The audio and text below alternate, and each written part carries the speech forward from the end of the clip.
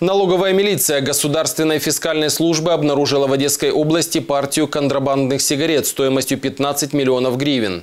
Об этом сообщил в Facebook первый заместитель председателя Государственной фискальной службы Украины Сергей Билан.